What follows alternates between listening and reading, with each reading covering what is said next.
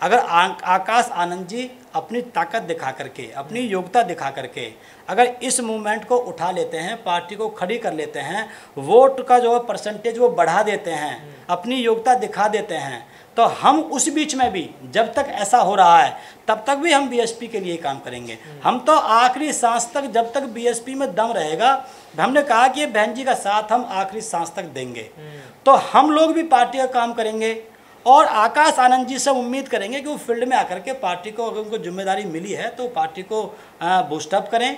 और उसके बाद में अगर हमको रिज़ल्ट मिलता है, समाज को रिज़ल्ट मिलता है, हम चुनाव जीतते हैं, पहले से अच्छा रेस्पॉन्स दे पाते हैं तो हम आकाश का नेतृत्व स्वीकार करने के लिए मना नहीं कर रहे हैं।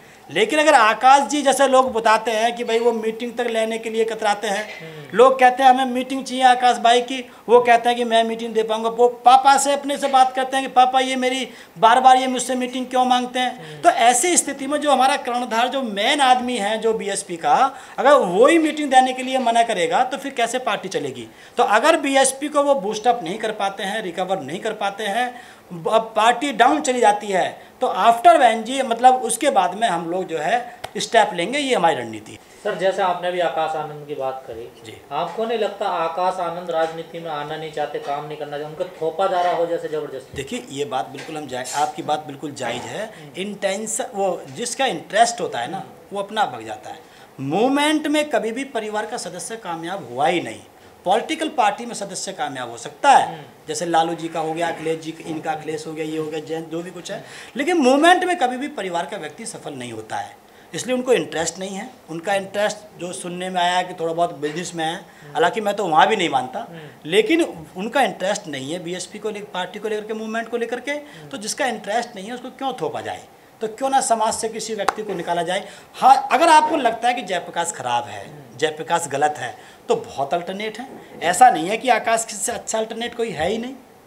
अगर आपने, आप इतने दिन से आप पॉलिटिक्स कर रहे हैं, आप मूवमेंट में काम कर रहे हैं, आप इसके टीचर हैं, आप इसके हेड हैं, एक भी आपका अगर स्टूडेंट पास नहीं हो पाया पूरी क्लास में तो उसका जिम्मेदार कौन है? केवल स्टूडेंट्स नहीं है टीचर भी होता भी है। है। कि भाई आपका आपकी नज़र कहाँ थी? आप किस प्रकार से तैयारी करते? हैं जब साहब कांसीराम आपको ढूंढ करके तराश करके निकाल सकते हैं तो आपको उसके बाद तो बहुत बड़ा एरिया आपको मिला।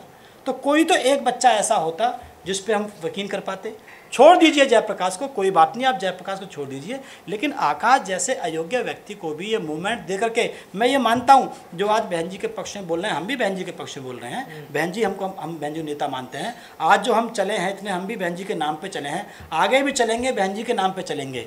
लेकिन मेरा सबसे ये निवेदन है कि हम आवेश में आकर के ज़्यादा उसके चक्कर में आकर के अगर मोमेंट अगर अयोग्य व्यक्ति के हाथ में चला गया तो इस दुनिया से सबको एक दिन जाना है। एक दिन ऐसा ना हो कि हम लोग असहाय हो जाएँ। ये मूवमेंट खत्म हो जाए। सब लोग कहते हैं कि बहन जी जो है बीजेपी से मिली हुई है डरी हुई है ईडी से सीबीआई से। इसलिए जो बहन जी ने ठीक से चुनाव नहीं लड़ा उत्तर प्रदेश। में। कोई दिक्कत नहीं आई।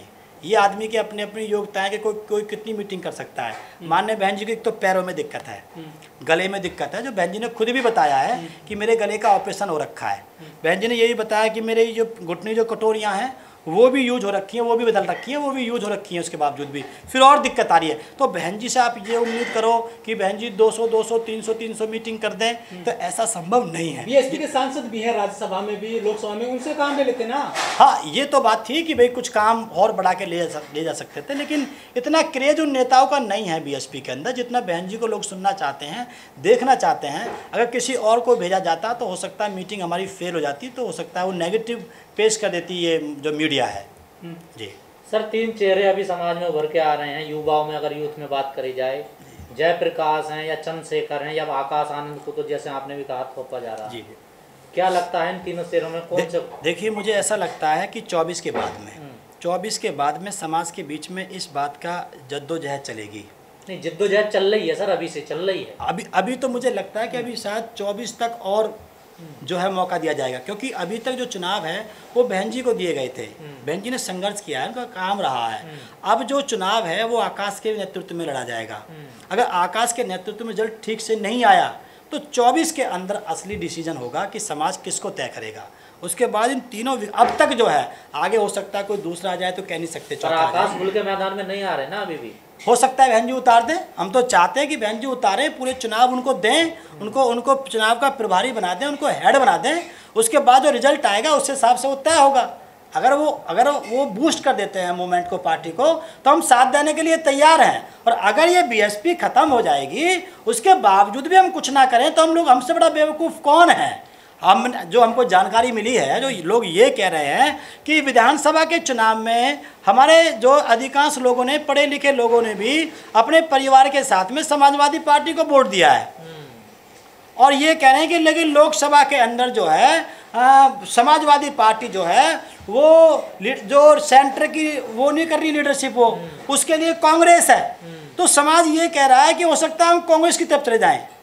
तो जिस समाज को साहब कांसीराम ने कांग्रेस से निकाला था, मुख्य रूप से एससी को और मुस्लिम को, अगर अगर ये एससी उधर चला गया तो मुस्लिम उससे पहले पहुँच जाएगा।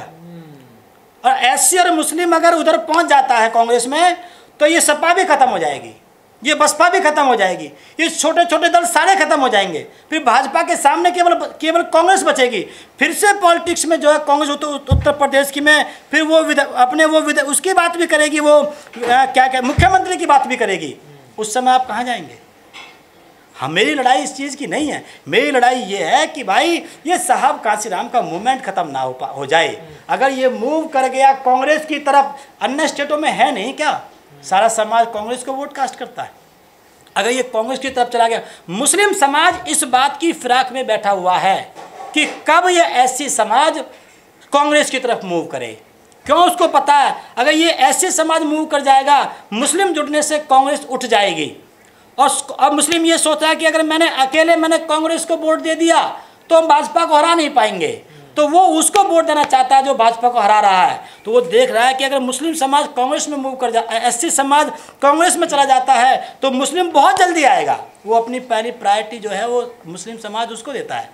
तो इसलिए अगर ऐसा हो गया तो फिर से साहब कांसीराम का जो सपना था, जो कांग्रेस को जो मिट्टी में मिलाने का जो काम किया था साहब कांसीराम जी ने, वो कांग्रेस पूरी ताकत लगा रही है। नए नए नेताओं को निकाल रही है। कांग्रेस जो है, अभी उसने कहा भी है राहुल गांधी ने कहा था हालाँकि जी ने उसको काउंटर भी किया है। तो ये उनकी प्लानिंग है। और इसीलिए आर आप देखिए आरएसएस ने एक नई पार्टी आम आदमी पार्टी निकाली है। उसका मतलब ये है अगर आपको कांग्रेस पसंद नहीं है तो आप आम आदमी पार्टी में आ जाओ। लेकिन बीएसपी छोड़ो। ये मूवमेंट खत्म करने का उनका कार्यक्रम है। हम लोग क्या कर रहे हैं? आप आकाश आनंद को क्यों अभी लीडर बना जाते हैं? बहन जी में अभी लीडरशिप आपको नज़र नहीं आती? देखिए बहन जी के नेतृत्व में बहुत चुनाव हो चुके हैं। मैं नहीं बना रहा हूँ आकाश को। नेता, बहन जी बना रही हैं। अगला जो नेता जो है, बहन जी तो खुद ही तो बना रही हैं। आप नेशनल कोऑर्डिनेटर बना रही हैं तो नेता बनाने तो हुआ। आपको मीटिंग सारी अटेंड करनी है, बहन जी का ये आदेश है 403 विधानसभा में जाना है ये बहन जी के द्वारा बनाने तो है। हम तो हम तो अपने जो नेता जो बनाया जा रहा है बहन जी द्वारा, हम तो उसके आउटपुट चेक करना चाहते हैं। देखना चाहते हैं। अगर वो मूवमेंट को पार्टी को उठा लेंगे बूस्ट कर लेंगे तो हम लोग तैयार हैं तो कैसे पार्टी उठेगी? एक बयान नहीं देते वो किसी से मिलते नहीं है। तो कैसे तो- कैसे तो- लोग तो अपनाएँगे? ये तो जो है चौबीस के बाद ये तय होगा। अभी समाज वो नहीं करेगा। अभी जो चुनाव जो बीच में जो होंगे उसके बाद फिर जब जो है तय होगा कि भाई कितना रिज़ल्ट दे पाए हैं आकाश आनंद जी। सर लोग कहते हैं कि बीएसपी ब्राह्मणों के कब्जे में आ गई है। सतीश मिश्रा पर सतीश मिश्रा साहब का कब्जा है बीएसपी पर। कितनी सच्चाई है इसमें? देखिए मैं तो ये मानता हूँ कि कब्जा तो मुझे लगता नहीं है। बहन जी के अपने डिसीजंस हैं। हाँ। लेकिन जो मिश्रा ब्राह्मण है ब्राह्मण भी एक समाज का पार्ट है। हम ये नहीं कह सकते हमको हम देखिए दिक्कत कहाँ हुई? लोगों को ये लगा कि शायद ब्राह्म जो मिश्रा जी है वो हेड बन गए हैं। इनके बिना आप कोई भी डिसीज़न पार्टी में नहीं ले सकते। ऐसा नहीं है वो एक पार्ट है। हम ये नहीं कहते कि ब्राह्मण को आपको आउट करना है और ना कब्जे में है। ये बहन जी के हाथ में बहन जी खुद लिखती हैं बहन जी खुद बोलती हैं। खुद मिश्रा जी ने भी मेरे को साथियों से पता चली है कि मिश्रा जी ने खुद कहा है कि मेरे हाथ में यहाँ कुछ नहीं है किसी के हाथ में कुछ नहीं है यहाँ सब कुछ बहन जी के हाथ में है। सर आपने ब्राह्मण वो रथ यात्रा निकाली थी पूरे उत्तर प्रदेश में और सतीश मिश्रा साहब ने ब्राह्मण सम्मेलन किए थे। कुछ फ़ायदा मिला नहीं बीएसपी को? देखिए कैसे नहीं मिला? आप कैसे मानेंगे कि यात्रा का फ़ायदा नहीं हुआ? मुझको लोगों ने जानकारी दी, जिन जिन एरिया में मैं गया, कि जिन जिन एरिया में रथ घूमा है, जिन जिन गाँव में रथ पहुँचा है, वहाँ की बूथ पे आप जाके देखो, वहाँ से बीएसपी जीती है। ये मैं नहीं कह रहा, वहाँ के लोग बता रहे हैं, जिन जिन एरिया में मैं गया हूँ यात्रा को लेकर के तो उससे फ़ायदा हुआ। है मैं ये मानता हूँ, ये जो तेरह परसेंट जो वोट मिला है, इसमें कम से कम तीन से चार परसेंट जो बीएसपी का जो पक्ष में जो हमने माहौल तैयार किया था, काशीराम विचार यात्रा से, उसकी वजह से मिला है। अगर हमारी यात्रा ना निकलती तो तीन चार परसेंट वोट और कम पड़ता। ब्राह्मण सम्मेलन से कितना फ़ायदा मिला बीएसपी को? ब्राह्मण सम्मेलन से हो सकता है एक दो परसेंट फ़ायदा हुआ हो एक परसेंट फ़ायदा हुआ। देखो हवा तो उससे बनी है हम उसको काउंटर नहीं कर सकते। अगर हमारी वजह से चार परसेंट तीन परसेंट वोट मिला है तो एक आध परसेंट वोट उनसे भी मिला होगा। बहन जी ट्वीट करती हैं लखनऊ से बैठ करके क्या उससे पूर्ति हो पाएगी पार्टी की? देखिए जब भाई हमको मैसेज पहुंचाना है लोगों तक। हाँ। जब बहन जी सोशल मीडिया पे नहीं थी तो तब लोग ये कहते थे कि बहन जी सोशल मीडिया पे नहीं है। आज अब बहन जी सोशल मीडिया पे अब आ चुकी हैं तो आप कहते हैं केवल इससे बात नहीं बनेगी। हमको समझना पड़ेगा कि बहन जी की उम्र भी काफ़ी हो चुकी है। हम तो ये चाहते हैं कि बहन जी सौ साल जिए लेकिन उम्र काफ़ी हो चुकी है तो हमको इस बात को ध्यान में रखना पड़ेगा। सर बहुत सारे मुद्दे हैं देश में महँगाई चरम पर है और बहुत सारी चीज़ें हैं। सड़क पर कभी क्यों नहीं आता बीएसपी का कार्यकर्ता पदाधिकारी? नहीं अभी तो आपने देखा हमने अभी सोशल मीडिया पर देखा है वहाँ पे बीएसपी के कार्यकर्ताओं ने महँगाई के खिलाफ अपना धरना दिया है। दिया है बहन जी दिलवाती हैं बोलती हैं खुद बहन जी।